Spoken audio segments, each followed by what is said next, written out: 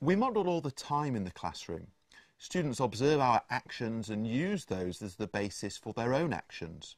For example, we might model how to listen or how to behave appropriately in a setting such as a classroom.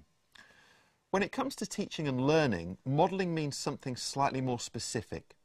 It's when we demonstrate or show students how to do something new or how to understand something new. So we often use modelling when we're introducing things for the first time.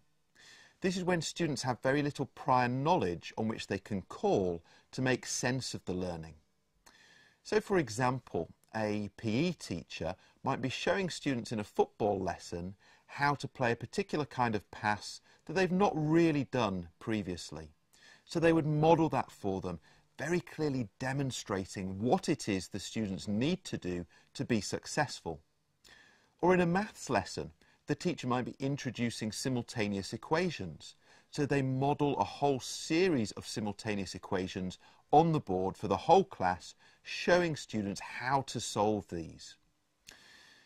Now, modelling is a really powerful tool because it provides students with a very clear sense of what they need to do to be successful or what they need to do in order to move their learning on.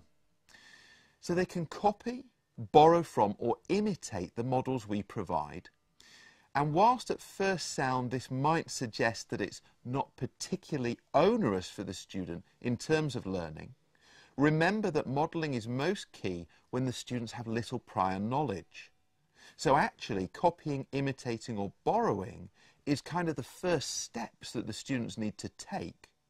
Over time, we'll expect them to make the model their own. They'll internalise it and won't need to observe us or listen to us in the future.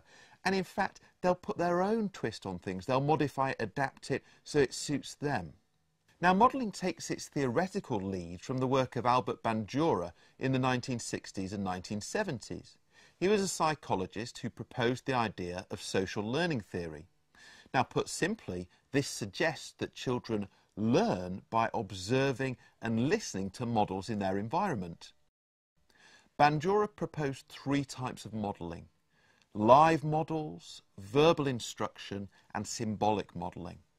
So a live model is when we are demonstrating to the students what we want them to do. Maybe we're at the front of the class taking them through exactly what we want them to copy themselves. Verbal instruction is when we talk through the model. And it might be that we actually combine those two together. And symbolic instruction is when it's through the media. So a child may observe a model on a television program, or they may hear a model listening to the radio. And the symbolism there is because it's mediated through some form of transmission. In conclusion, modelling is a really powerful tool. It allows students to see exactly what they need to do to be successful.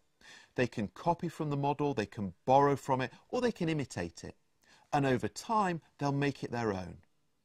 When we're in the classroom, we'll tend to use verbal instruction or live modelling, or a combination of the two golden nugget. Modelling is an incredibly powerful tool because it allows students to see or understand what it is they need to do.